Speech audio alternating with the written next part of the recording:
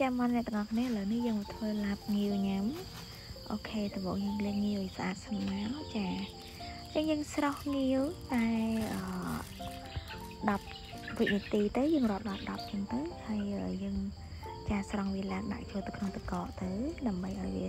ចាសាច់ងាវយើងនៅស្រួយណាហើយស្រួលបកផងដែរ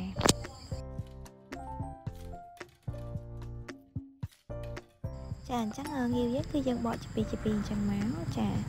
ឡូវនេះគឺខ្ញុំចាប់ផ្ដើមទៅបុកគ្រឿងវិញម្ដងចាអញ្ចឹងខ្ញុំមាន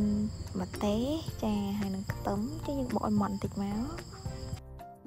បុករៀងចាម៉ត់បន្តិចមកអញ្ចឹងខ្ញុំចាប់ផ្ដើមដាក់ចូលទៅក្នុងចានមួយចាហើយ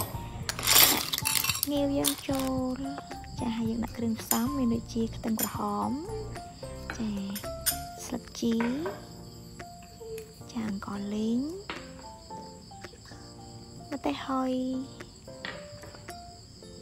អូខេយើងដាក់ទឹកត្រីចាហើយអំបញ្ញក៏ខ្ញុំដាក់ស្ករនិងប៊ីចេងរួចដល់ដែរចាចាហើយចុងបញ្ចប់ហ្នឹងគឺខ្ញុំច្របាច់ក្រូចឆ្មាចូលចាអញ្ចឹងយើងលៃលោកគ្រឿងតាមនឹងមកចាអឺនៅពេលដែលយើងច្បល់ហើយយើងភ្លក់មើលយើងខ្វាយយើងថែមនឹងមកណា ចាអញ្ចឹងចំពោះរសជាតិវិញគឺយើងត្រូវយករសជាតិឲ្យរៀងដិតបន្តិចចាអញ្ចឹងប្រៃជូរហល់ហ្នឹងគឺឲ្យដិតដិតបន្តិចមកគឺឆ្ងាញ់តែម្ដងចាអញ្ចឹងបន្ថែមចំណិតក្រូចឆ្មាចាចិត្តដាក់បន្តិចមកអូខេរួចរាល់ហើយលើនេះគឺយើងអាចដួសដាក់ចានបានតំណងហើយអ្នកទាំងអស់គ្នា ចាកុំភ្លេចធ្វើញ៉ាំទាំងអស់គ្នាណាអូខេអរគុណច្រើន